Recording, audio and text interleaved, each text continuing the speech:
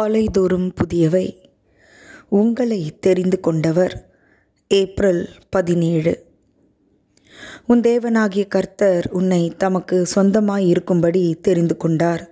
உபாகமம் ஏழு ஆறு. இங்கிலாந்தை சேர்ந்த எட்வர்ட் என்ற ராஜா அரசாட்சி செய்து வந்தார். அவருடைய திருமண நேரத்தில் தனக்கான வாழ்க்கை துணையை தானே தேடிக்கொள்ள விரும்பினார்.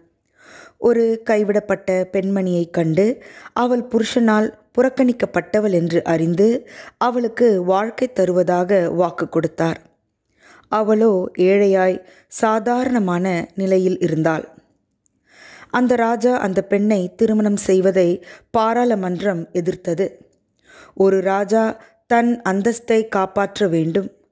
அவர் பிரபு குலத்திலாவது ராஜகுலத்திலாவது தான் திருமணம் செய்ய வேண்டும் என்று தடுத்தது. அவரோ தான் தெரிந்து கொண்ட பெண்ணை மனம் முடிக்க ராஜ மேன்மையை துறந்து சாதாரண மனுஷனைப் போலாகி விரும்பியவளை கரம் பிடித்தார்.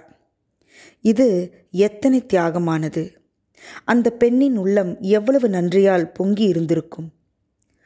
அருமை ஆண்டவர் நம்மை தெரிந்து கொண்டபடியால் பரலோக மேன்மையை துறந்தார்.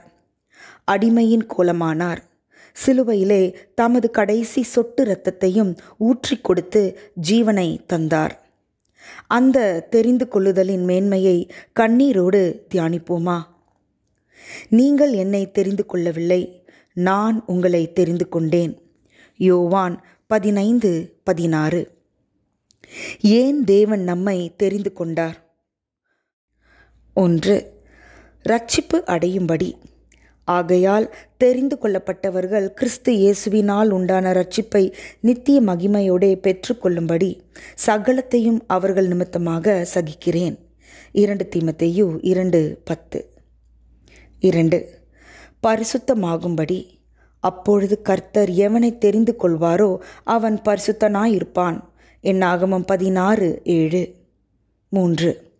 சுதந்திரமாகும்படி கர்த்தரை தங்களுக்கு தெய்வமாக கொண்ட ஜாதியும் அவர் தமக்கு சுதந்திரமாக தெரிந்து கொண்ட ஜனமும் பாக்கியமுள்ளது. சங்கீதம் முப்பத்தி மூன்று பன்னிரண்டு. நான்கு. பாடுபடும்படி. இதோ உன்னை புடமிட்டேன். ஆனாலும் வெள்ளியைப் போலல்ல உபத்திரவத்தின் குகையிலே உன்னை தெரிந்து கொண்டேன். ஏசையா நாற்பத்தி எட்டு பத்து. ஐந்து. ஞானிகளை வெட்கப்படுத்தும்படி தேவன் உலகத்தில் பைத்தியமானவைகளை தெரிந்து கொண்டார். ஒன்று குருந்தியர் ஒன்று இருபத்தி ஏழு. தேவ பிள்ளைகளே தேவன் நம்மை தெரிந்தெடுத்திருக்கிறார். நாம் பாத்திரவான்களாய் இருக்கிறோமா? ஜபம். ஆண்டவரே எங்களை தெரிந்து கொண்டதற்காக உம்மை துதிக்கிறோம். எங்களை தகுதிப்படுத்தும். ஆமேன்.